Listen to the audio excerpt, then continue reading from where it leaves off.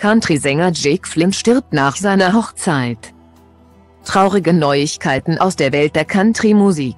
Eigentlich sollte für Jake Flynn und seine Frau Brenda Flynn ein neuer Lebensabschnitt als verheiratetes Paar beginnen.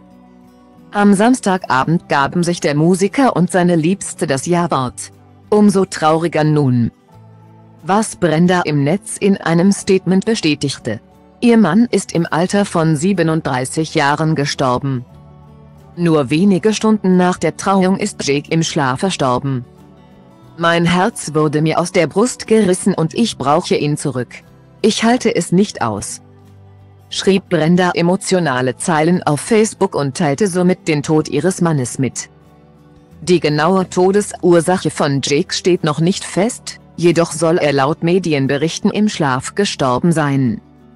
Eigentlich sollten wir unsere Hochzeitsfotos durchgucken, aber stattdessen suche ich Kleidung aus.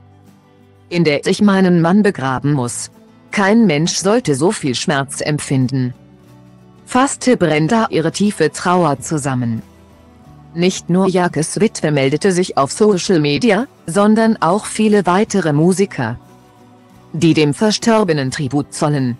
Seine Managerin Brenda Kline fand ebenfalls rührende Worte und verabschiedete sich von dem Koftoven-Interpreten, ich habe ihn wie einen Sohn geliebt.